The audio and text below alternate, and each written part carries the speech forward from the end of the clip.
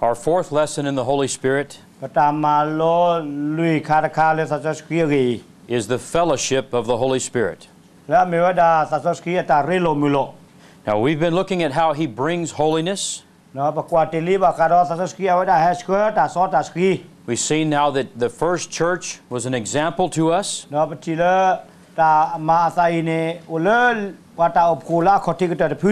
That first century church reached their generation for Christ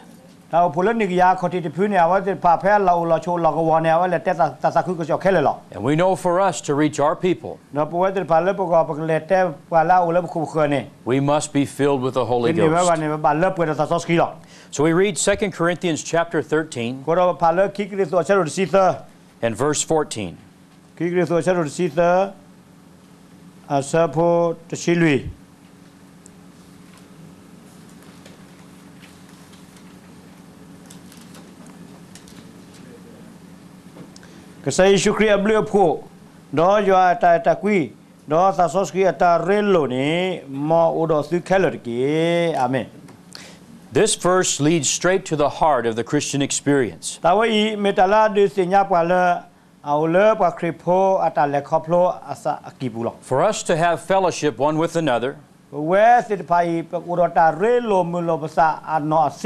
Then we must individually have fellowship with God. There is no fellowship with God which does not produce a living fellowship with men. If I have a relationship with God, then I'm going to want to have fellowship with you. I'm, I'm enjoying my time here. Praying with you. Work. We're teaching here with you. So lô ta If we have fellowship with God. We will have fellowship with man. The Holy Spirit works in us. And he brings us together one with another. When you look at Paul,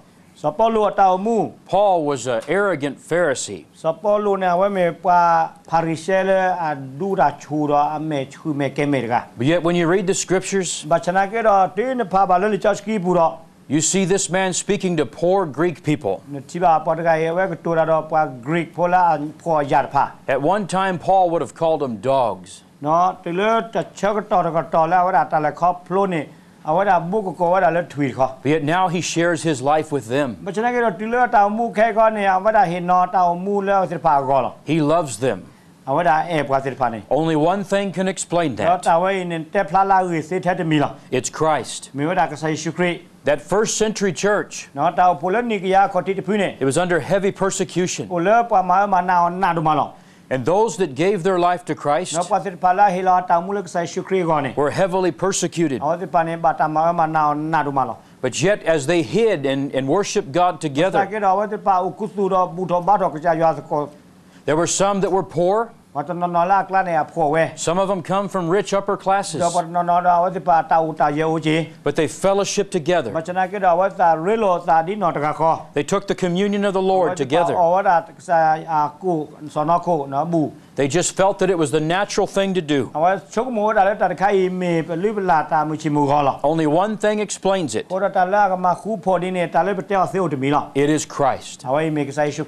I've known missionaries that worked in other countries and they hated the people they worked with. I remember a missionary in Russia. He was an American. He hated the Russian people. How could he ever win them? What good could he ever do for those people? That's not God working in our lives. The Holy Spirit brings fellowship one with another. atrás da Coca-Cola. I know you and I may not know each other very well. We'll get to know each other more in these next few weeks. But I feel very comfortable in my spirit that you and I are together. I may not know all of your names. If you tell me your name, I may not remember so well. But we have the same spirit. There's not a difference different Jesus. And if the Holy Ghost has filled you, it's the same Holy Ghost that's in me. When young converts came into that church, what held them together was the fellowship. They didn't just always talk about fellowship, but it flows out of what they are. You know, I, have been in the church for many years. And I travel a lot. So it's difficult for me to be very close to very many people. My, many of my greatest friends don't live in America. Many of my greatest friends do not speak English. But I've always asked God he would give me Christian people to fellowship with. I enjoy going to church, but I like fellowshipping with people, sharing this life together. That desire comes from the Holy Spirit. We don't have to try to organize it. It flows naturally. Amen. Amen. The one thing that we notice particularly in the New Testament that that fellowship was real. It wasn't something that just a few people understood. But they gathered together house to house. Fellowship together, breaking bread. You know, I, have worked in many countries. And I've been in a lot of villages in this world. Some of the greatest churches are in villages. It's just like, it's like one big family in that church. In America, People come to the church. They might live 50 kilometers away. But you go to a village. And it's a community there. We They all live around that area. We all fellowship together in that church. It's like a family. That's really what that first century church was. Much like the churches you go to. And that fellowship come from the Holy Spirit. But as we move deeper, we begin to look more into this. Behind this fellowship that they had in the New Testament, there was a direct fellowship with God. And every individual had that personal relationship with God. Pentecost brought that. The Pentecost, when the Holy Spirit come, Every individual had their experience with God. And that's what binds us together. God fills me. He fills my brother. He fills you. It's the same spirit. And we fellowship together. Everywhere today, the church wants to go back to Pentecost. Millions of Christians want to see Pentecost come again. In the New Testament, we see the fire of God. We see the tongues and the miracles. But what really happened there? When you study the book of Acts, Something happened that changed history. The Holy Ghost had come. God was manifested in the Old Testament. Jesus come. And then in his resurrection. He sent the Holy Ghost. And now the Holy Ghost is here. I can see this.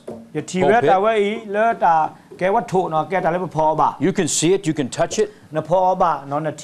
It's here. Now it's natural. The Holy Spirit is here just as real as this podium.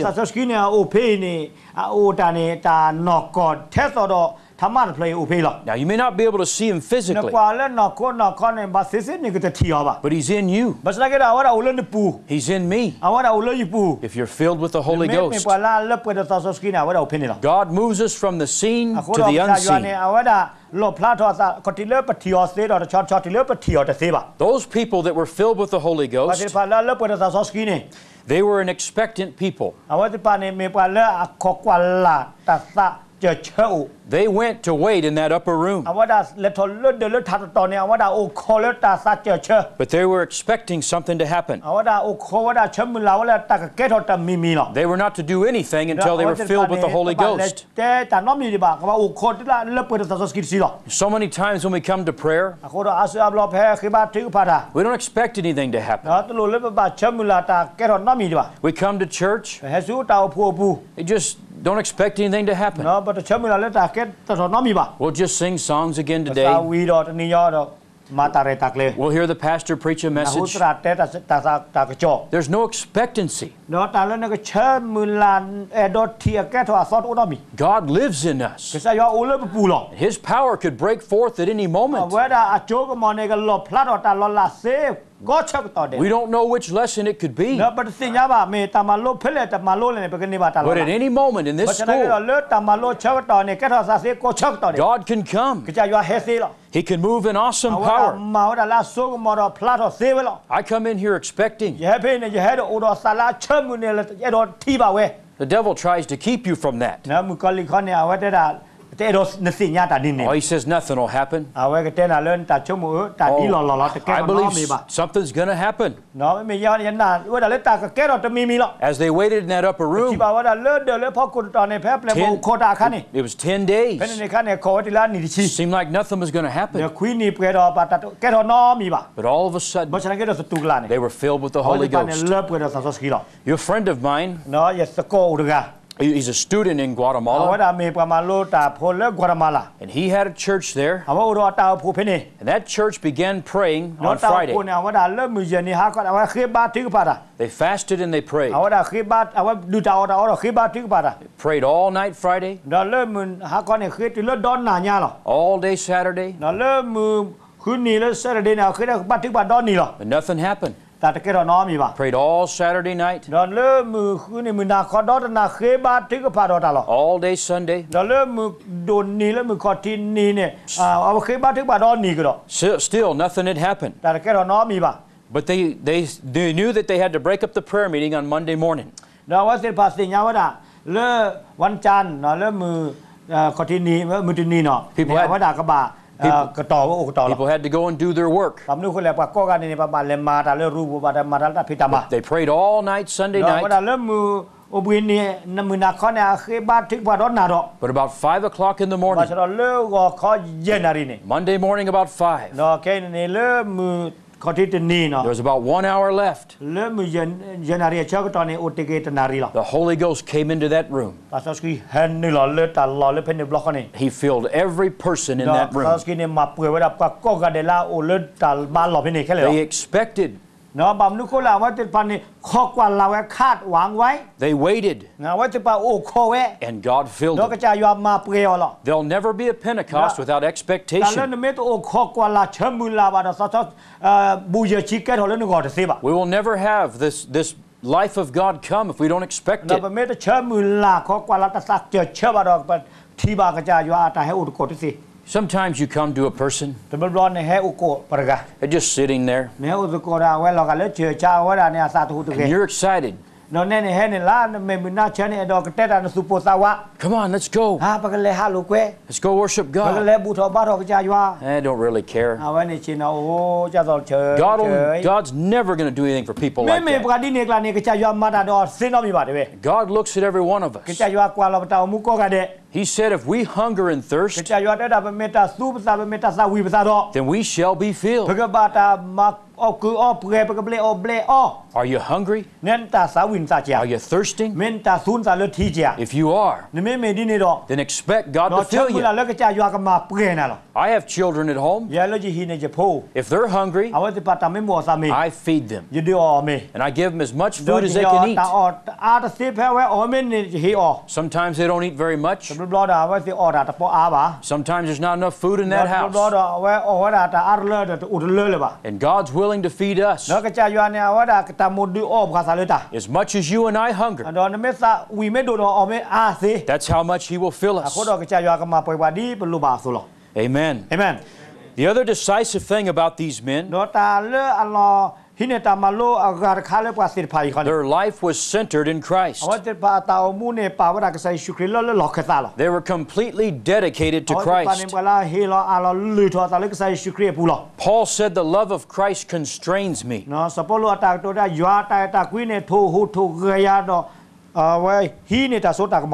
that means that love disciplines me.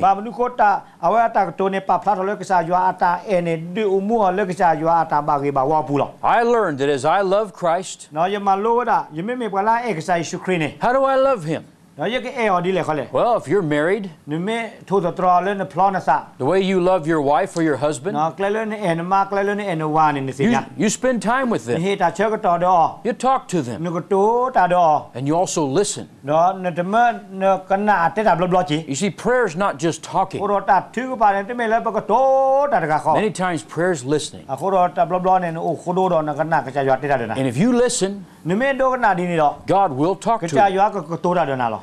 And I've learned that as I love God, that as I love Christ, then the ability to obey comes from that.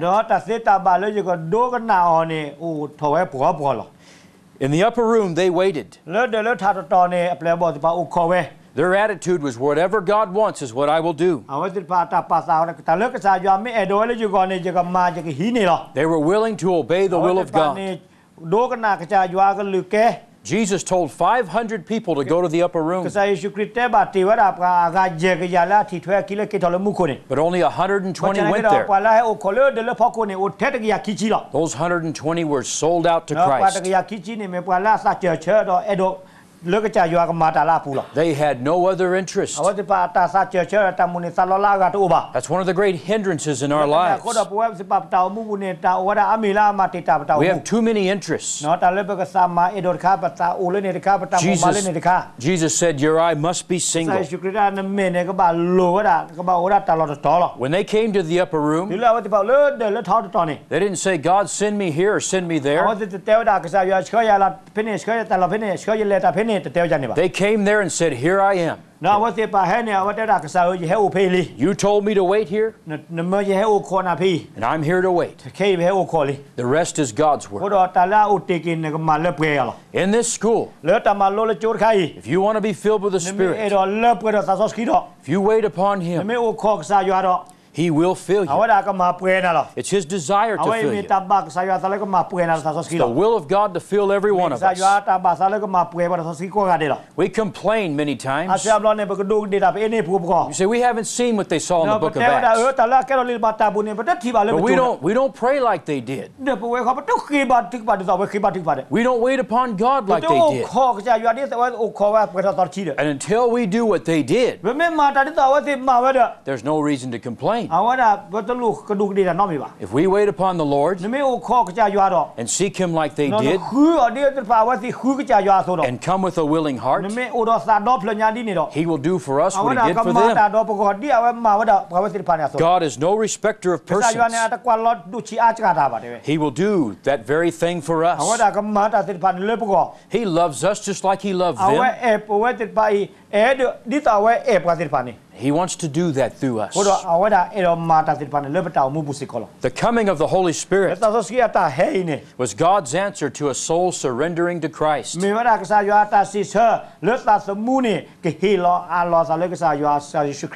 When we totally surrender to Him,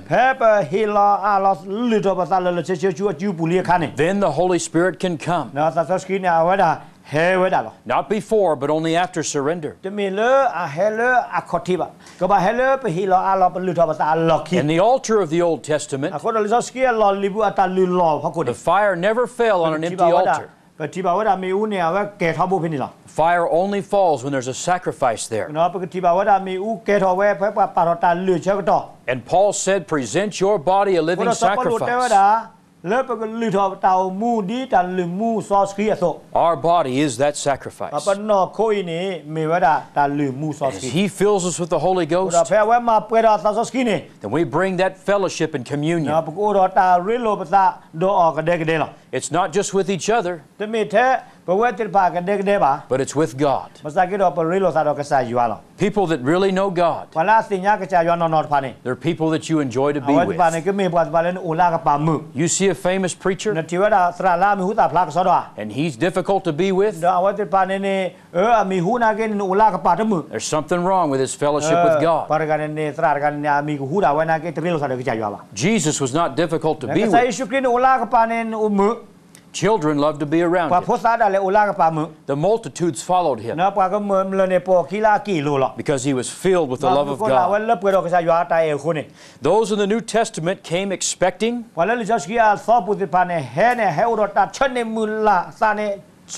their lives were centered in Christ. And the fire of God came. It wasn't just about tongues. The greatest thing that come was the power of God.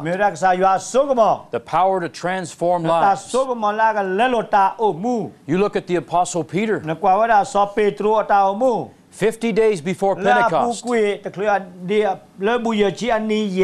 he denies Jesus. A young girl says, You were with him. I don't know him. I saw you, you were with him. I don't know him. He, he was afraid. But then 50 days later, something happened. He was filled with the Holy Ghost. And he went out there before that crowd. There was a power there. Power overtook his fears. He stepped out in front of the very same people that crucified Christ. And he began to proclaim him. There is a price to pay. We must wait upon the Lord. If we wait and totally surrender our lives, He will come. I found that I don't have to beg God to fill me. I don't have to say, please fill me. I just surrender. Here's my life. Fill me with your spirit. I give you myself. It's automatic. If I, if I, surrender to Him, He must come. We look at this fellowship of the Spirit and we see that it brought power on a physical level. You look at the life of the Apostle Paul, they beat him. They left him for dead. He was put in prison. He was in shipwreck. And all of that happened. His body is beaten and broken.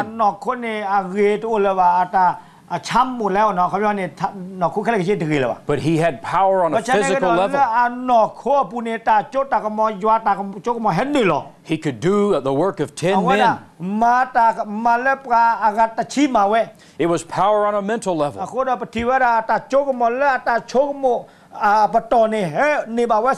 The disciples were ignorant and unlearned.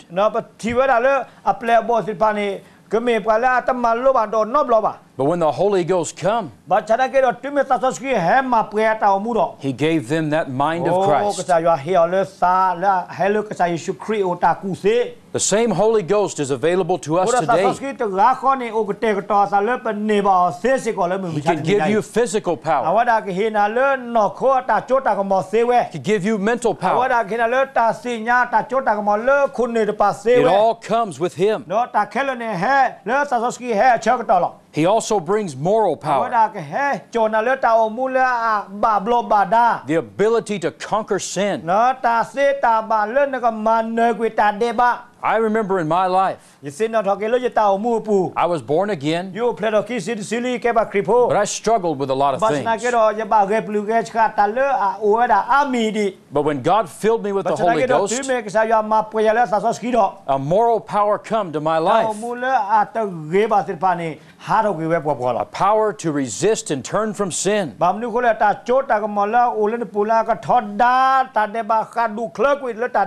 It's a power that God gives us.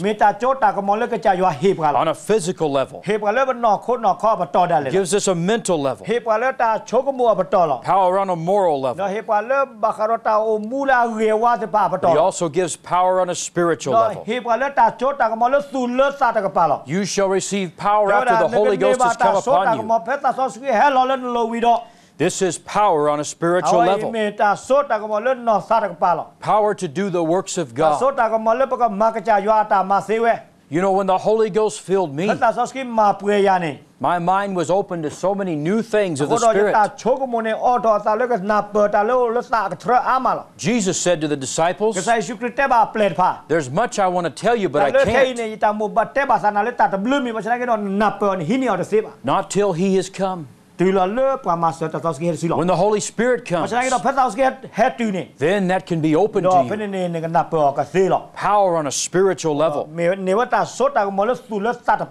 We are in the name of Jesus. When you go out to those villages, you preach the gospel, it's like Jesus being there. If you're filled with the Holy Ghost, it's like Jesus going into that place. You're not God, but it's just the same. Just the same as Jesus that walked the streets of Jerusalem. That same power is there. The same Holy Ghost that filled Jesus is the same Holy Ghost that filled you. And if you're not filled, the same Holy Ghost awaits to fill you. Ask Him to fill you. If you have been filled, ask Him to fill you again. Power on a spiritual level. If we surrender our lives totally to God, then and only then can we truly know this power of the Spirit. Then and only then can we know this fellowship of the Spirit. Hallelujah. Hallelujah. Praise the name of the Lord. Let's stand.